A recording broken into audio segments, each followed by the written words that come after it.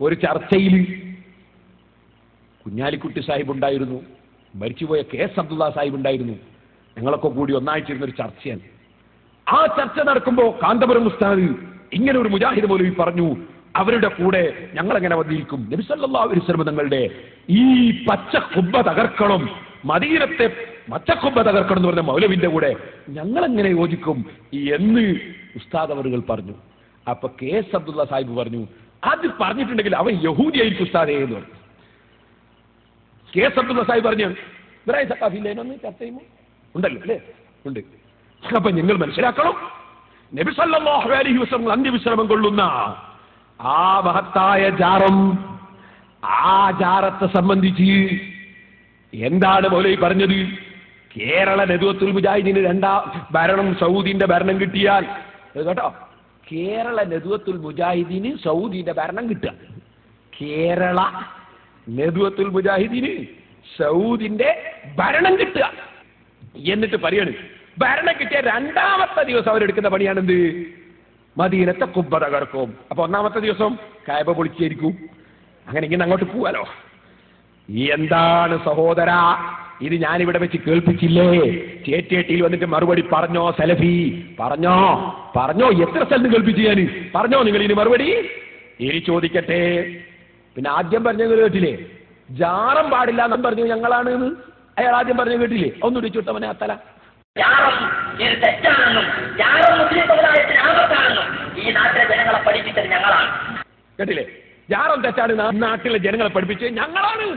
അള്ള പഠിപ്പിച്ചിട്ടില്ല റസൂള പഠിപ്പിച്ചില്ല സഹാബത്ത് പഠിപ്പിച്ചില്ല ഒരു മഹാനും പഠിപ്പിച്ചിട്ടില്ല. അത് ഇവർ പഠിപ്പിച്ചാണ് ഇവർ പഠിപ്പിച്ചത് ആർക്ക് വേണം ഇവിടെ? എനി സഹോദര ഇവിടുന്ന് മൗലവി ആനത്തല പോലത്തെ ചോദ്യം ചോദിച്ചില്ലേ? അതിന് നല്ല ഉരുളക്കുപ്പേരി പോലത്തെ മറുപടി ഞാൻ കൊടുത്തില്ലേ? പിന്നെ ആ അതും കൊണ്ട് പറഞ്ഞ് അടക്കല്ലേ പിന്നെ പണി? എന്നാൽ മൗലവി ഇവിടുന്ന് ചോദിച്ചു മദീനത്ത് ജാറം മൂടലുണ്ടോ? വെളുക്കത്തിക്കലുണ്ടോ? ഞാൻ ചോദിച്ചു പിന്നെ അവരൊക്കെ ഇരുട്ടിലിരിക്കലാ? ഏ ഇരുട്ടിലിരിക്കലാ? സുബഹാനല്ലാ.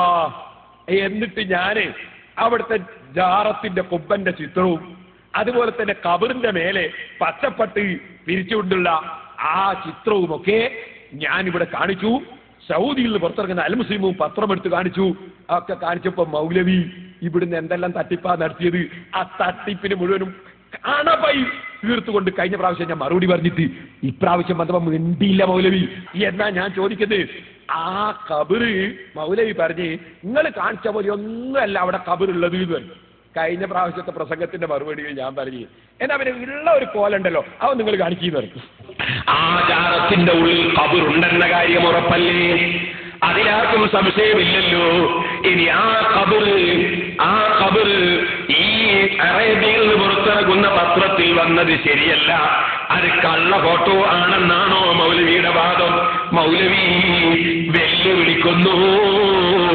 എന്നാൽ ഒറിജിനൽ കബറിന്റെ ചിത്രമൊന്ന് കാണിക്കാൻ നിങ്ങളെ കൊണ്ട് സാധിക്കുമോ? ഞങ്ങൾ കാണിക്കുന്നത് സൗദി അറേബ്യയുടെ പത്രത്തിൽ വന്നത് കുവൈറ്റിലെ പത്രത്തിൽ വന്നത് ആ കബറല്ല അത് ഒറിജിനൽ കബറല്ല അത് കള്ള കള്ള കബറാണെന്നാണ് നിങ്ങൾ പറയുന്നത്. ചോദിക്കുന്നു എന്നാൽ ഒറിജിനൽ ഒരു കബറുണ്ടെന്നതിൽ തർക്കമില്ലല്ലോ. ആ കബറിന്റെ ചിത്രം മൗലവി ഒന്ന് കാണിച്ചു തരുമോ? ഇതല്ലാന്ന് വാദിക്കുമ്പോ മറ്റൊന്നുണ്ടാകണ്ടേ. എന്നാ അതൊന്ന് കാണിക്കൂ മൗലവിമാരെ. നിങ്ങളെ കൂട്ടത്തിൽ ആൺകുട്ടികൾ ഉണ്ടെങ്കിൽ കബറ് ഒന്ന് കൊണ്ടുവന്ന് സമൂഹത്തിന് കാണിക്കൂ.